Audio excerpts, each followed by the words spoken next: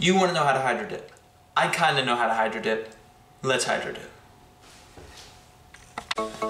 Hello and welcome to episode one of Hydro Dipping for Beginners. In all transparency, I am not a professional hydro dipper, at least not yet. I just have a lot of experience, or at least some experience, that I think other people might appreciate because there seems to be a deficit of like true instructional series on hydro dipping. I've seen a lot of videos that give one-off information, but they don't ever seem to really follow through and mention all the different aspects there are to hydro dipping. So this channel is supposed to serve as a comprehensive collection of all the different aspects of hydro dipping, and this series is specifically for beginners. But without further ado, this episode is about what spray paints you want to use for hydro dipping. So let's get into it.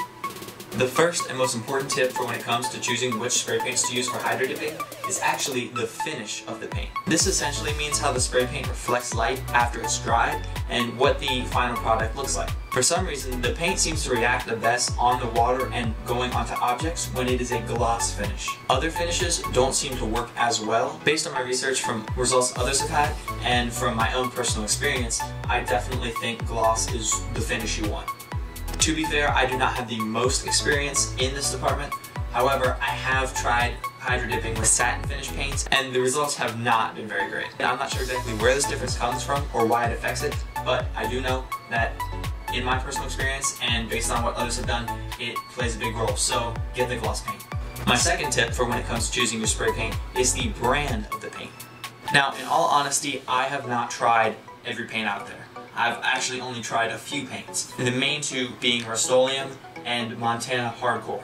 I've only tried these two because from all the research I've done, people would recommend Rust-Oleum as the best beginner paint to get started hydro dipping with. Most people have really good results, and I have had good results too, so honestly, I think it's the best way to start. Now, I've gotten into the Montana Hardcore spray paints as well, because I see a lot of higher level hydro dippers using that type of paint. People like Dipper Dan, Hydro, and a couple others out there seem to prefer Montana Hardcore, I think because they have really vivid colors, but then also maybe because it just goes on better. So that's something I kind of implemented, and it seems to have worked really well so far. Additionally, there are distinctions between like the subgroup of paint within a brand. So for Rust-Oleum, there's like the professional line, the protective enamel line, and the two times painter's touch or American accents. Most people seem to recommend the two times Rust-Oleum, whether that's painter's touch or American accents, but I still do see a lot of people use the gloss protective enamel, and that seems to work well too. Either way, I think you just want to make sure you're using Rust-Oleum, and either the two times American accent or painter's touch, or the gloss protective enamel. Now for the subcategory of Montana, I pretty much only use hardcore, that's all I've really seen, and I think that's the best bet because they're all gloss to start with, so you don't have to worry about getting the wrong paint, and they've had really good results, and they just feel really good. Now my third and final tip for the spray paints you use to hydro dip is how you prepare them. So whatever spray paint you get, before you use it, you're going to want to put it in warm water for 20 minutes. This will get things warmed up and make shaking it and mixing it up a lot easier. It took me forever to find this tip and I wasn't really looking for it specifically, but when I tried it and applied it, it really did help me. So I definitely recommend warming your paints up and then after they're warmed up and you're ready to spray, make sure you shake them for a good minute or two. Those are probably good tips for using spray paint in general, but with hydro dipping, I definitely saw better results, less splatter, less inconsistencies, and it helped me and my confidence with doing projects. Thank you guys for tuning into this video.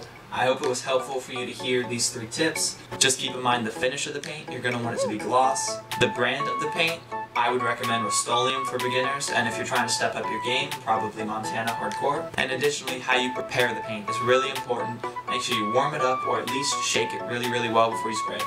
Also, if you'd like me to do some more in-depth testing and really show you some like trials of different spray paints side by side, just let me know and I'd be more than willing to do stuff like that. Thank you again for watching the video, and if you'd like to support me and help me make more educational hydro dipping content, then feel free to subscribe.